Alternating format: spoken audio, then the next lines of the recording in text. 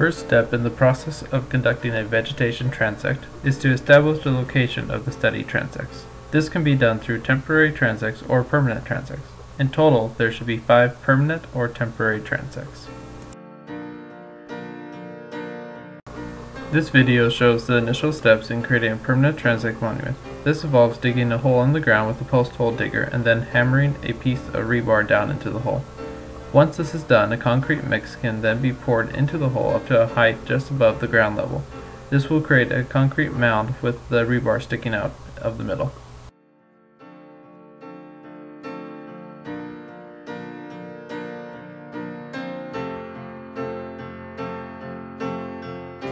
Permanent transects allow the study of long-term changes in the riparian complex. An aerial photo of the location can aid in determining the best places for the five transects.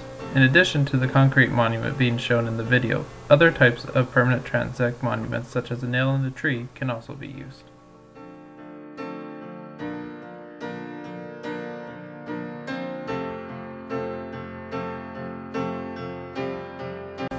Once the rebar has been added to the hole and hammered down in, the concrete can then be poured into it. It's important to make sure the concrete is not too wet or too dry.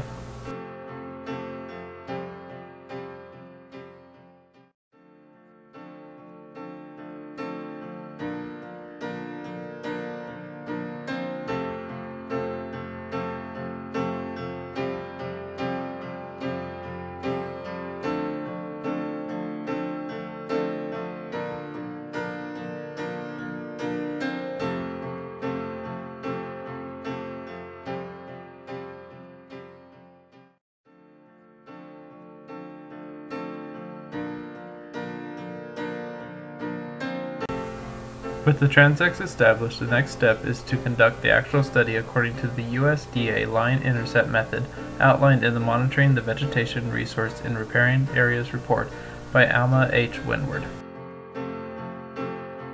The following are the steps to conduct the study. First, start at one of the monuments at either end of the transect. Then start walking along the transect, counting the number of paces as you go. At each change in vegetation community type, Stop and record both the dominant vegetation type, making up the community, and the number of paces for that community type.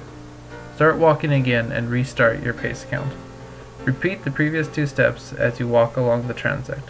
At the end, you will have a list of vegetation community types with a corresponding number of paces next to each.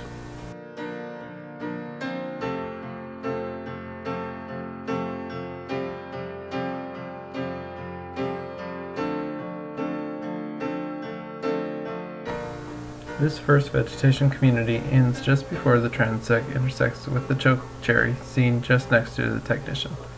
This vegetation community looks to be dominated mostly by grasses.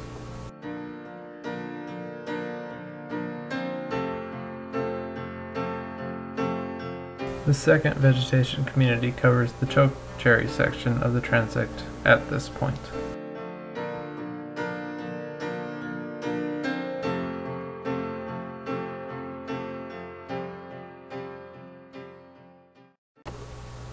The next vegetation community changes back to one being dominated by grasses in this section of the transect. When one particular vegetation community is broken up by other communities as the grasses are here, it is important to be consistent in how you label each community in your notes. At the end, when finalizing the collected data, all the paces for the grasses and other data for the grasses, for example, will be added together. This will be done for each of the communities.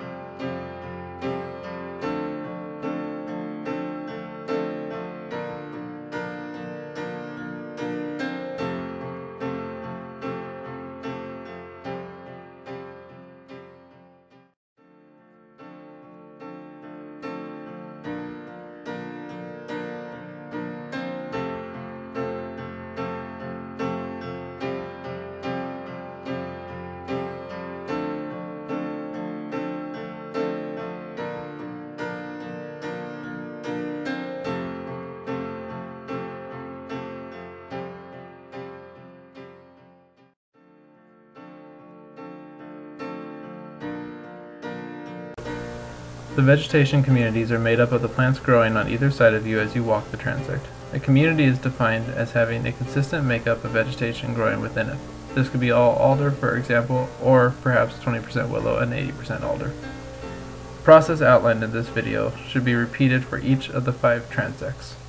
Once the data is collected, it is then possible to determine the coverage of the transect and percent for each of the vegetation communities. This will be covered in further detail later on.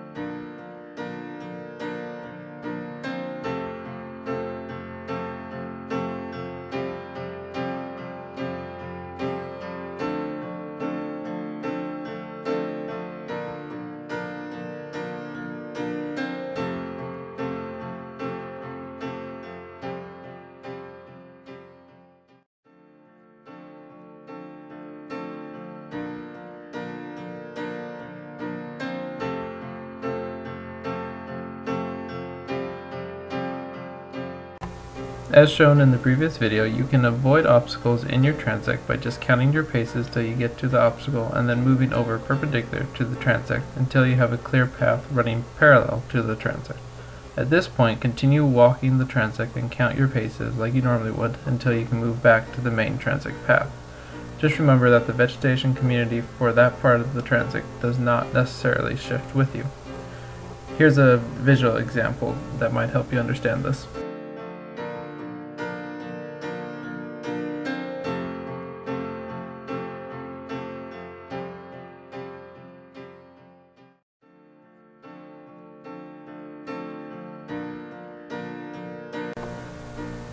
With the data collected from all five transects, you end up with a table similar to the following. The community type and number of paces will be different, but otherwise the table you create will be very similar. By calculating the percent composition for each of the community types, changes over time in the distribution of each community type within the transect can easily be determined. In addition, this data can be entered into ArcMap and added to a GIS layer. Thank you very much for watching this video. I hope this has proven helpful and good luck with your future fieldwork. Thank you.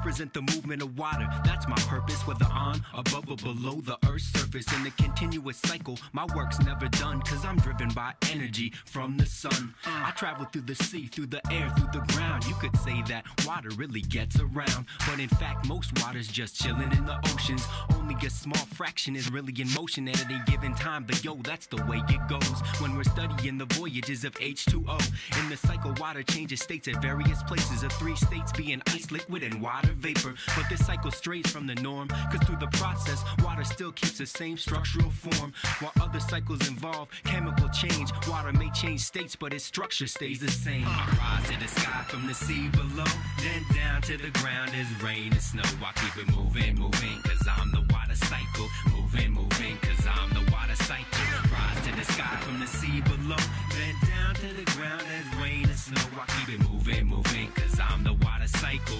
Moving, moving, when water transforms from liquid to gas and rises up into the atmosphere, that's evaporation. A process made possible by energy from the sun, also known as solar radiation. And when this water vapor in the sky reforms into liquid water droplets, that's condensation. And when this water falls back down to the earth as rain, snow, hail, or sleet, that's precipitation. Plants have their own type of evaporation through their stomata, which is called transpiration. So collectively, the term used for transpiration plus all other evaporation is evapotranspiration. Two more terms to add to your collection. The movement of water through the air is advection. And speaking of keeping it moving, understand that runoff is water flowing across the land. I rise to the sky from the sea below, then down to the ground is rain and snow. I keep it moving, moving, cause I'm the water cycle.